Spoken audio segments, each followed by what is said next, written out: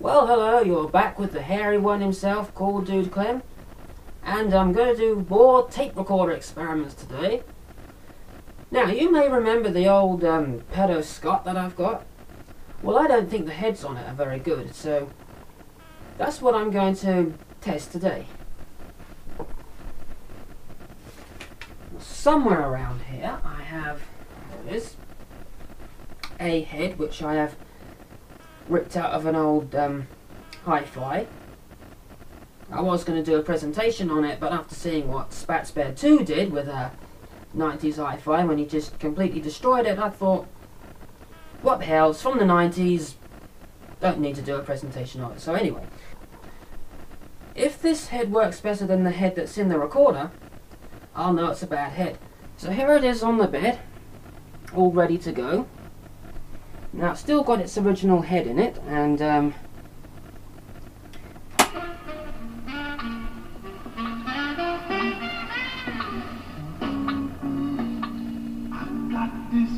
as you can hear it does play. But if I try to make a recording on this,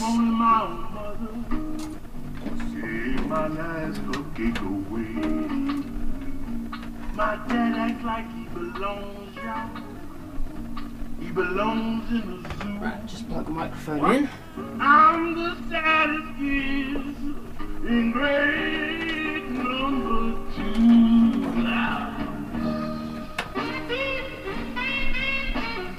Okay, let's stop that before I get in, into any copyright infringements here.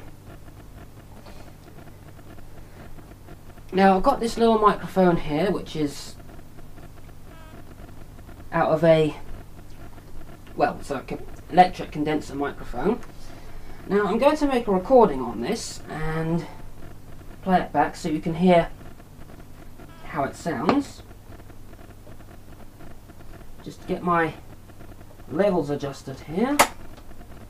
Okay. I'm making a recording on the Peto Scott, which for a long time thought was Petroscott, but if you look at the name, if you look closer up at the name, there is no R. But anyway, I'm now going to re rewind this and remember to not turn the tape recorder off before I have finished talking. So just rewind that. Okay. I'm making a recording on the Peto Scott, which for a long time thought was Petroscott, but if you look at the name, if you look closer up at the name, there is no R. But anyway, I'm now going to re rewind this. Remember to not turn the tape recorder off before I have finished talking. Now that did sound okay, but I believe this could sound better. Because that does not record as much highs as it should. So now I'm going to do the experiment with the tape heads. Okay, well, I've put the new head in, and it doesn't seem to work too well. You can see where I've soldered it on.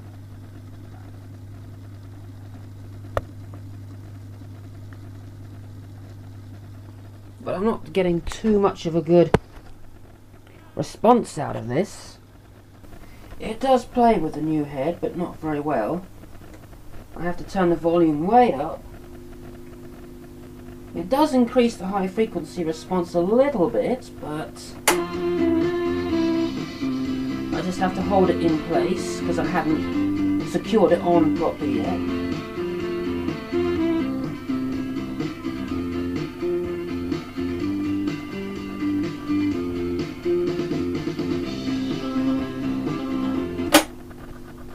So as you heard, playback is pretty weak, and as for recording, well, I'll just demonstrate that right now. Make sure, just get my levels adjusted, and hold the head in place. Now I am recording on the Peto Scott using the new head out of an old stereo. And I do not think that the amplifier likes being connected up to this head because it makes a very weak recording. And sometimes it doesn't make a recording at all, so...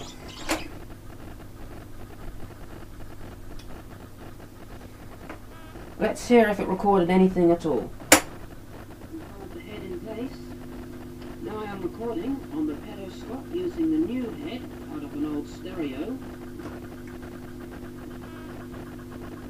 I do not think that the amplifier likes being connected up to this head because it makes a very weak recording. I don't know how well you heard that, it actually did manage to record something that time. I now have that same tape in my one of my other reel-to-reels and now I'm going to play it. Now I am recording on the Peto Scott using the new head out of an old stereo.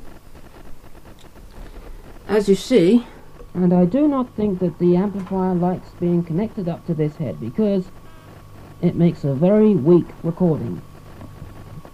The level meter barely moves at all. Now what I've got here is the original head out of the Peto Scott and I've got it connected up to the microphone input on the reel-to-reel and I've put the monitor switch onto source so it is only picking up from this head and just to prove it I will touch it with something magnetic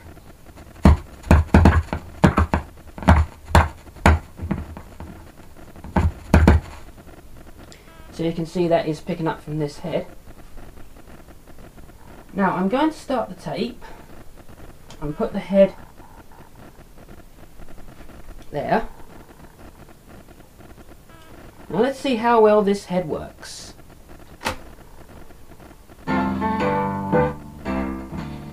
Trying to get it aligned.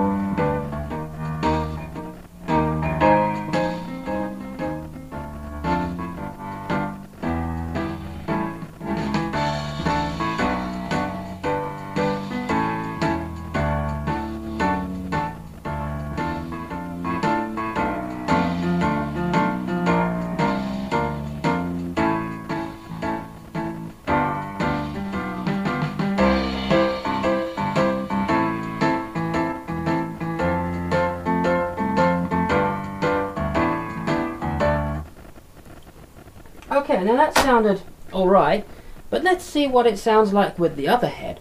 Okay, this is the quote-unquote replacement head, and before, like before, I'm going to start the tape and put the head up to the tape. And let's hear how this head sounds.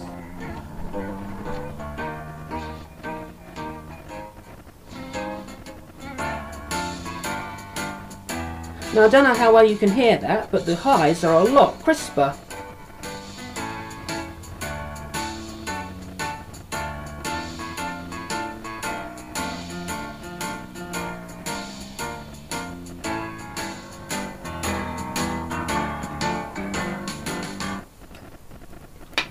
So that pretty much proves that the um, that the head is not as good as it could be. Well, that's just about the end of the video now. Clem's put my original head back in and so I can still record and play. But if anybody does know where I could get a new head apart from eBay, I would like to know. But anyway, until next time, goodbye.